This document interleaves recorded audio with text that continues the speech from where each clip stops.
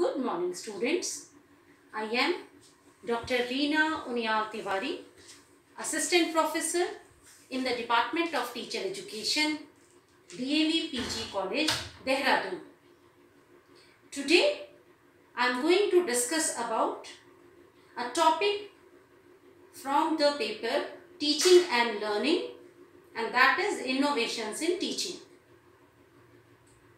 Innovations in teaching के अंतर्गत ही एक बहुत ही महत्वपूर्ण सा विषय है, जिसे हम कहते हैं माइक्रो टीचिंग या सूक्ष्म शिक्षण। माइक्रो टीचिंग या सूक्ष्म शिक्षण जैसा कि नाम से और शब्द से ही पता चलता है, जो शिक्षण प्रक्रिया है, उसे जब छोटे छोटे भागों में बांटकर और उसका अभ्यास किया जाता है तो उसे सूक्ष्म शिक्षण कहते हैं।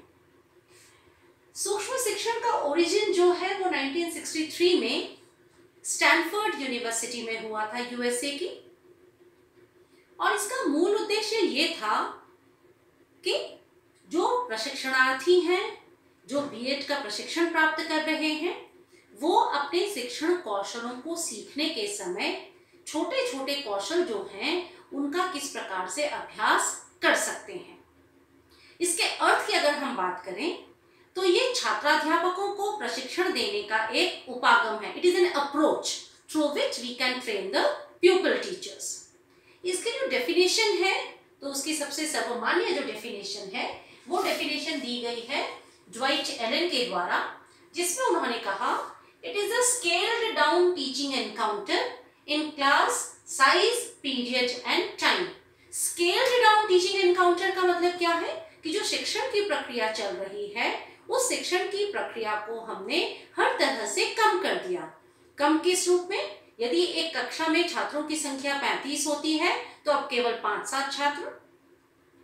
एक वास्तविक कक्षा शिक्षण में अगर जो कुछ प्रकरण विद्यार्थियों को पढ़ाया जाता है, वो पूरे 35 मिनट पढ़ाया जाता है तो 35 मिनट की अपेक्षा केवल पाँच सात मिनट पढ़ाने का अभ्यास किया जाए। उसी के साथ साथ जितनी भी व्यवहार और अंतर क्रिया शिक्षक कक्षा में करता है। अब उन सबको सम्मिलित रूप से न करके एक समय में एक ही व्यवहार, एक ही कौशल का अभ्यास किया जाए तो उसे हम सूक्ष्म शिक्षण कहते हैं। तो you have seen everything has been scaled down ranging from the number of students to the duration of the classroom to the different micro teaching skills being practised okay? तो हम सब कुछ जब स्केल्ड डाउन हो जाता है, उसका अभ्यास जब हम करते हैं तो उसे कहा जाता है सूक्ष्म शिक्षण माइक्रो टीचिंग सूक्ष्म शिक्षण के मूलभूत सिद्धांतों की अगर बात करें what are the basic principles on which micro teaching is based इसमें सबसे पहला है वास्तविक शिक्षण.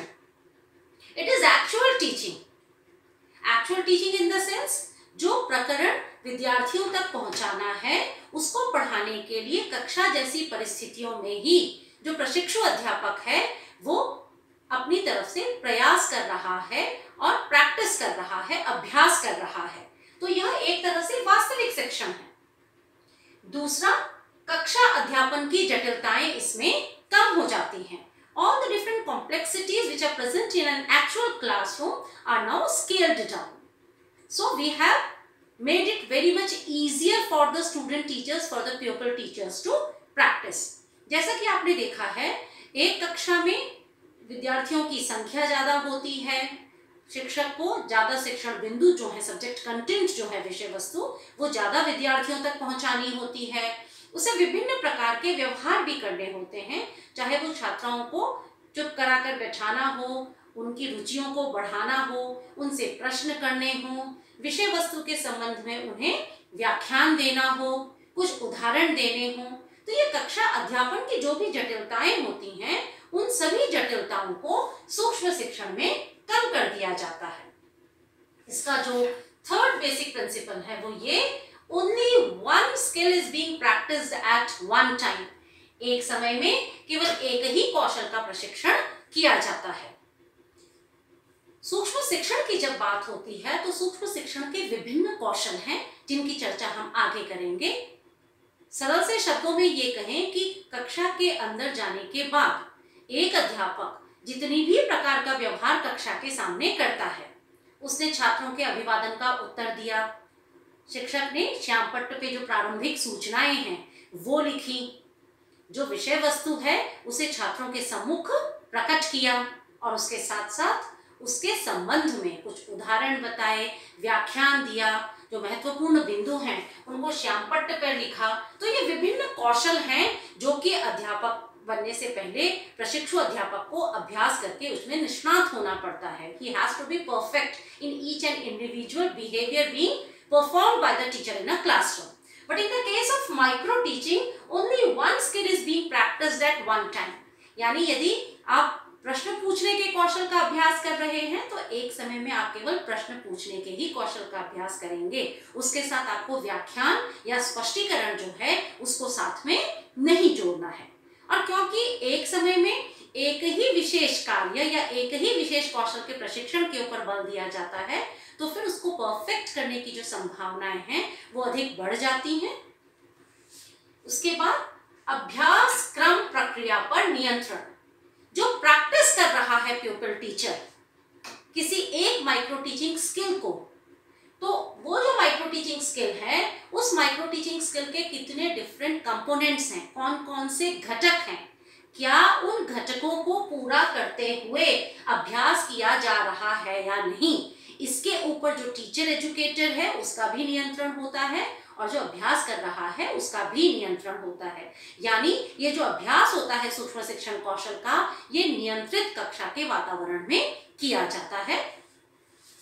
परिणाम संबंधी ज्ञान the knowledge about the result when the pupil teacher is practising a kind of micro teaching skill then after the practice is complete after the teaching part is complete the teacher educator now gives him proper feedback about the various components being utilized or not.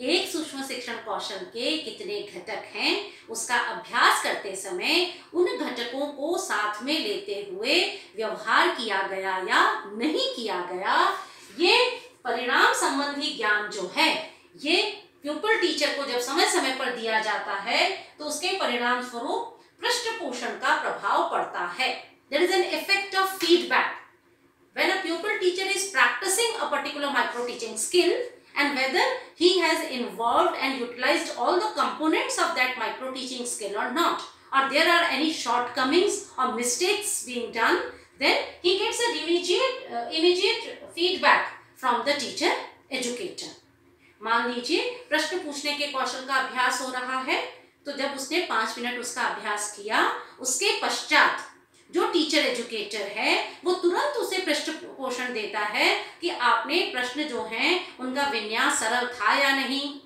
विद्यार्थियों की रुचि से संबंधित प्रश्न पूछे गए थे या नहीं?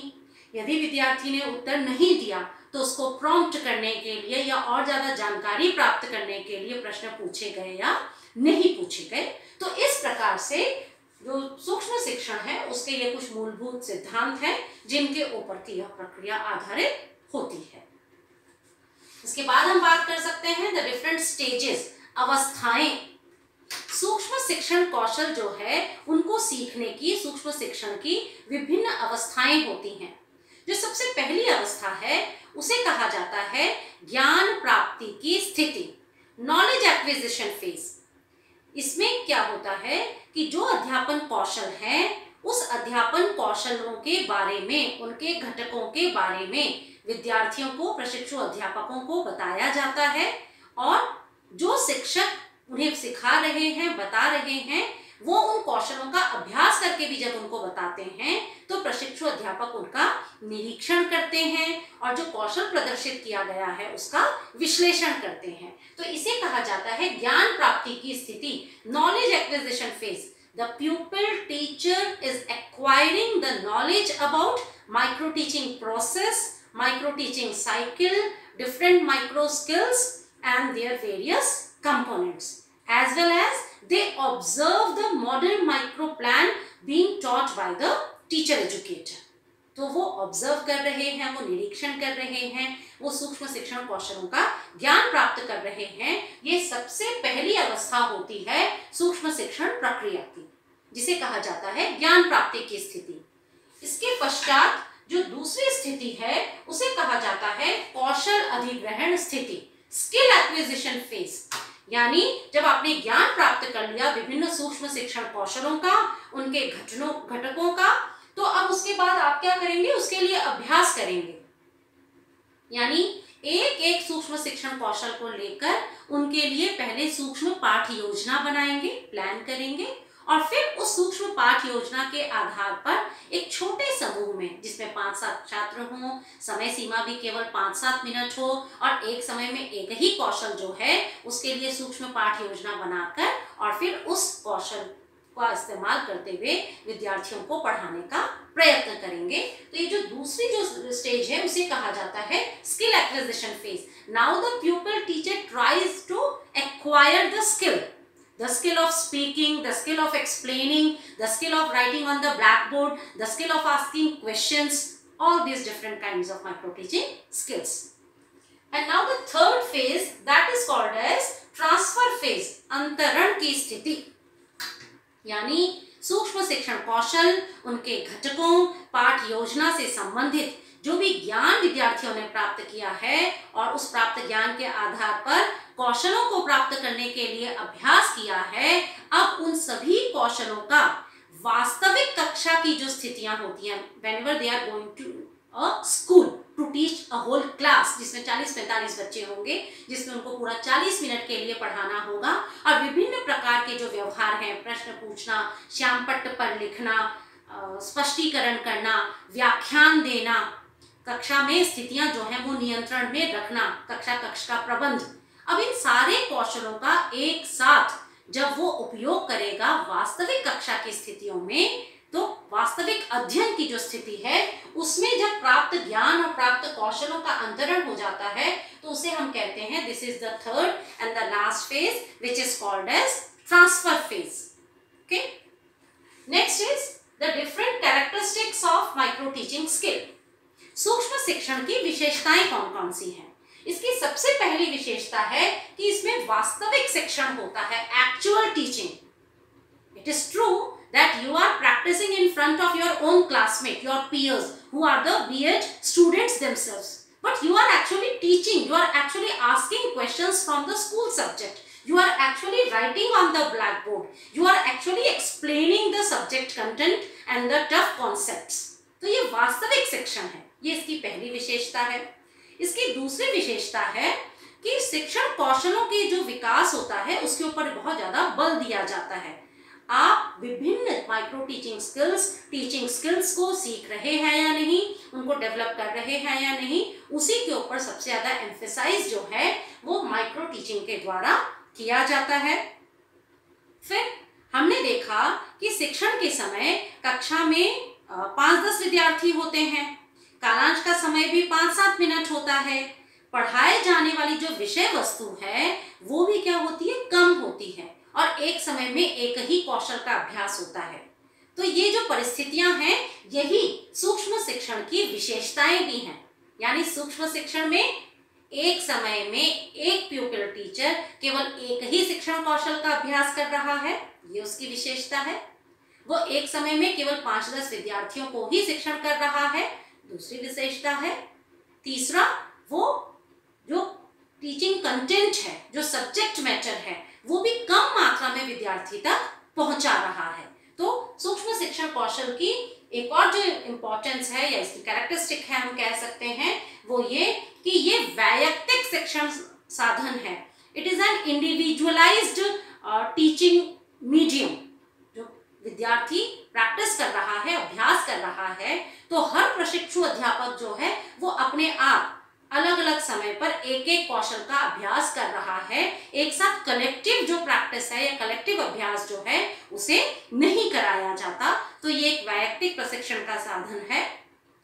जो शिक्षक प्रशिक्षणार्थी हैं, जो बीएड स्टूडेंट्स हैं प्यूपल टीचर्स ट्रेनी टीचर्स जिनको कहा जाता है, उनका कार्य निष्पादन किस प्रकार से हुआ? How they were able to practice a particular micro teaching skills how the work was done इसकी प्रतिपुष्टि, इसका जो निरीक्षण करता है टीचर एजुकेटर तो उसका इमीडिएट फीडबैक भी उनको देता है। और इमीडिएट फीडबैक देने की वजह से जो भी कमियाँ होती हैं एक शिक्षण कौशल के अभ्यास में, उन कमियों को तुरंत दूर किया जा सकता है तो हम कह सकते हैं, प्रभावी शिक्षकों के प्रशिक्षण के लिए सूक्ष्म शिक्षण जो है, वो एक बहुत प्रभावी साधन है। इनोवेशन इन टीचिंग शिक्षण में नवाचारों की जब हम चर्चा करते हैं तो उसमें एक बहुत महत्वपूर्ण नवाचार और विशेष रूप से बीएड प्रशिक्षण का जो मोस्ट प्रैक्टिकल एस्पेक्ट है, जिसमें स्टूडेंट्स विद्यालय में जाकर शिक्षण का अभ्यास करते हैं, उसके पहले का सबसे इम्पोर्टेंट स्टेप है कि पूरी कक्षा के शिक्षण से पहले, पूरी कक्षा में विभिन्न व्यवहारों के प्रदर्शन से पहले, वो लोग कॉलेज में ही एक समय में एक शिक्षण कौशल का कम समय के लिए अभ्यास करें, तुरंत उन्हें प्रतिपुष्टि मिले फीडबैक मिले, ताकि जो कमियाँ हैं उन्हें सुधारा जा सके। और इन्हीं कमियों को सुधारते हुए, इनमें, इनकी संख्या में कमी को लाते हुए धीरे धीरे प्यूपल टीचर एक समय में एक टीचिंग जो स्किल है, उसमें परफेक्ट हो जाएगा, निष्णात हो जाएगा और इसी तरह से एक एक करके जब विभिन्न शिक्षण कौशलों में वो निष्णात हो जाएगा तो उन सबको इंटीग्रेट करके क्लासरूम जो टीचिंग है, उसको वो कर सकता है।